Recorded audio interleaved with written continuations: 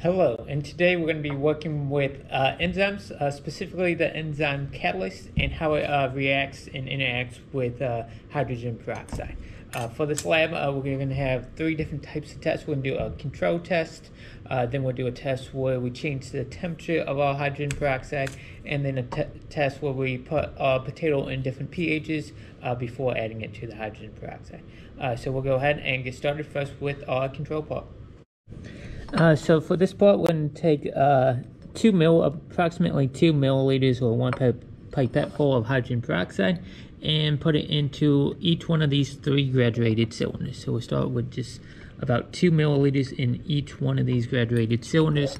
Uh, we want about the same amount in each one. Uh, then to each one, we're going to add about one milliliter of water. I'll do that and then catch you once we get that added. So now we're adding our last one milliliter of water. So now we have two milliliters of hydrogen peroxide, uh, one milliliter of water.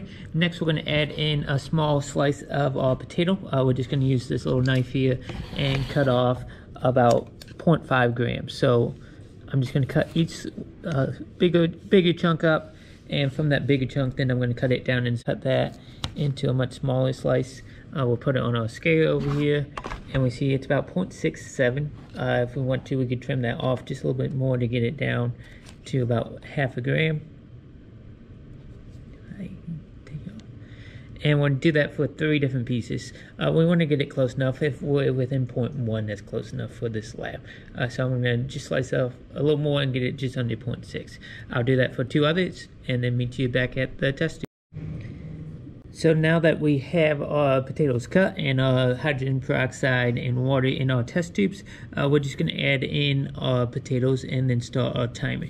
Uh, again, this can take a little time. Uh, this is going to be our baseline. So our observation, this is going to be our baseline of about a 5 for reactivity. So our reactivity is going to be about 5 for this one.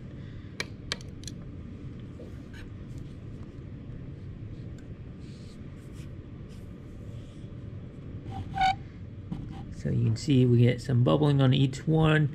Uh, it's enough bubbling to cloudy up our uh, appearance of our hydrogen peroxide. So we'll fast forward, uh, let it run and time lap and catch you in a little bit.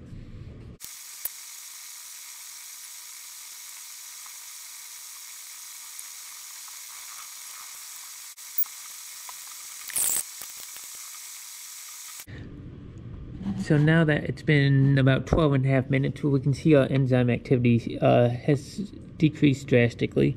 Uh, so we're going to stop it here as we move on to our next section. This segment, uh, we will be doing setting up our test tubes the same way as we did last time. Uh, two milliliters of hydrogen peroxide in each one of our test tubes.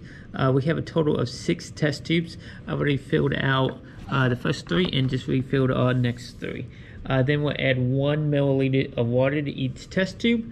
Uh, and then we'll place three of the test tubes in a hot water bath. And then three of the test tubes in an ice bath.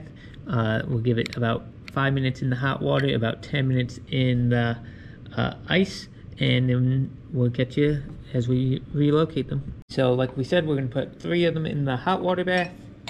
One, two, and three and then three of them in the ice bath. Uh, we'll give them some time to heat up and cool down and then uh, test it with, uh, while we're doing that, we'll cut out our potatoes and then test them, with the potatoes and see how the catalase uh, behaves. Uh, so now we're going to remove our test tubes from the hot water bath. Uh, after we remove all three, then we're going to add in our potatoes. So I'm just going to remove all three.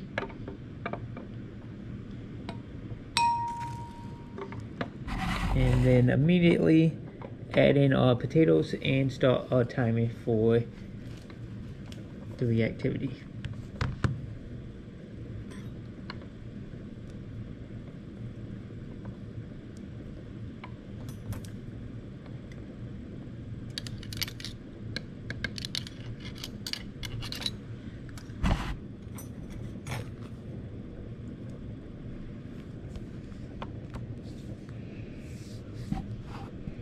So again, we want to compare this to the reactivity of our first sample. Our first sample, our control, our room temperature one, Uh, that was our control to kind of compare against. Uh, these appear to be moving or reacting a little bit quicker. We get a little more bubbling, a little quicker bubbling in these ones. Uh, but again, we'll time it and see how long it takes as well. Uh, but for again our reg, uh, rating, our first one that was our baseline of five. Uh, so if it's greater than, if it's more reactive, if you think this is more reactive, uh, on a scale of zero to ten, it's going to be higher than five. If you think it's more reactive, uh, if you think it's less reactive, it's going to be less than five. And then if you think it's the same as it was initially, then that would uh, rank a five again. again, this is your ranking set your score. Uh, we'll let it continue to react and continue to bubble, uh, and then catch you when it's finishing up and move on to our ice bath.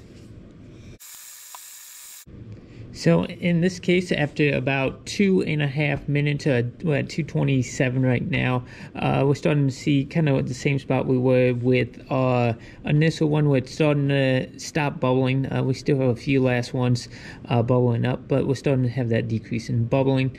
Uh, so we're looking at probably about 245 to 3 minutes uh, complete bubble time for all three of our hot water baths. Uh, we'll get those cleared out and then we'll move on to our cold water bath. So I'll move these over and get moved. So now we're removing our test tubes from the cold water bath. Again, we got three test tubes. Uh, as soon as we move them, uh, we'll set up and drop in our potato into each one of these cold water baths. Uh, once we drop them all in, we'll start our timer and see how long it takes uh, for it to start bubbling.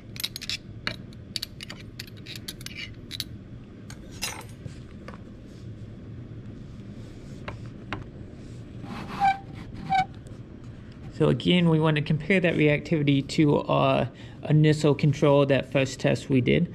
Uh, if it's bubbling more, uh, we'll give it a, a, rating higher than 5. If it's bubbling less, we give it a rating less than 5 uh, if it's bubbling about the same, would give it a score, a rating of 5. Uh, so we want that comparison. Again, that's on a scale of 0 to 10. Uh, we'll let it react and then uh, catch you once we start seeing the bubbling disappear.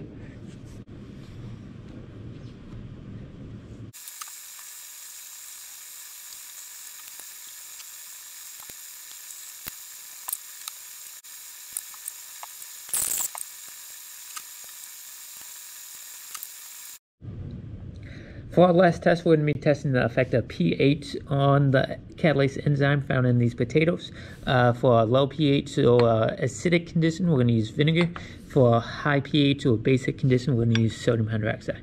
Uh, to get started, we're just going to put three of each of our potato pieces into uh, the vinegar and then three into our base, our sodium hydroxide.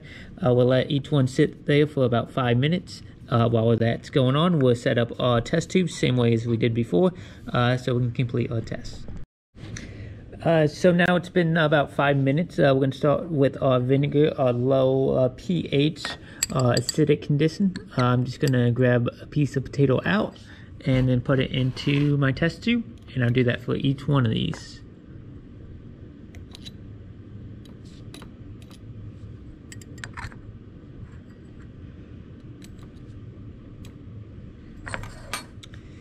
And if we look, we can check out the reactivity. Uh, if you're looking, we don't see much in the way of bubbling uh, after the potato's been sitting in our vinegar. Uh, so we're not going to be able to get a time on these because we don't have any bubbling. Uh, if we're trying to rate it on a scale of 0 to 10, uh, this could end up being right at that 0 if we don't have any bubbles at all. Uh, so again, that was your vinegar uh, your acidic conditions uh, as we take the catalase enzyme and put it into the hydrogen peroxide. Next, we'll do our basic condition, uh, sodium hydroxide. Uh, again, these have been sitting there for about five minutes, uh, maybe six now.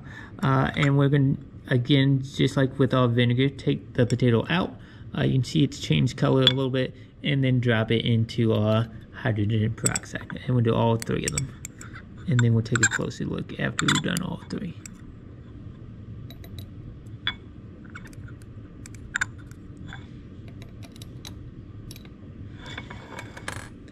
So now that we got all three of them in, uh, we can see if we're comparing it to our enzyme activity initially, uh, compared to the control, it's much, much slower. If we look closely, we do have a little bit of bubbling here in this first one. Uh, if we're looking at the second one, there's really no bubbling taking place. And our third one as well has no bubbling, but the first one does have a little bit of bubbling, a little bit of catalase activity taking place. Uh, we'll let it sit and observe. Uh, and if it looks like it's going to stop, we'll keep our clock running. I got a timer going uh, with that time on it, so we can check out that time if we need to. But we'll let it sit. It's not very reactive. So again, this is going to be a low score, uh, probably like a 1 or a 2 in our reactivity. As we let it sit, uh, you can see it's still bubbling very, very slowly. Uh, second one actually started to bubble as well. If we look closely, we can get some bubbles on that one as well. Uh, and then the third one just now started to bubble. Uh, if we want to wait till the end, it's probably going to be over a day till we get to our final time. So we're not going to worry too much about our time on these. Uh, we'll worry more about our reactivity. So vinegar over here had no reactivity we had no bubbling we still have no bubbling. Uh, uh, control condition was uh, five score where it was uh, reacting uh, and gave us some pretty intense bubble. Then we go to our basic condition our high pH and we got very very low uh, catalase enzyme activity very few bubbles forming thank you. So hopefully you were able to see in this catalase enzyme lab activity uh, how temperature and pH can uh, affect the enzyme activity. Uh, first, we looked at temperature. Uh, we saw at the colder temperature for catalase, uh, it had a low activity. It still had some activity, but it had a low activity. Room temperature, it had some activity, and then it had even higher activity after it was in the hot water bath. Uh, then we looked at different pH levels by putting the potato into different conditions. Uh, we saw the acidic condition of the vinegar uh, caused the potato to be, the catalase enzyme to uh, not be reactive when we didn't get our reaction of the hydrogen peroxide. And then the basic condition of uh, sodium hydroxide also decreased the activity greatly. We still had a little bit of activity, activity uh, but decreased it greatly. So it needs more of a neutral pH. Uh, thank you for watching, and hopefully you learned a little on uh.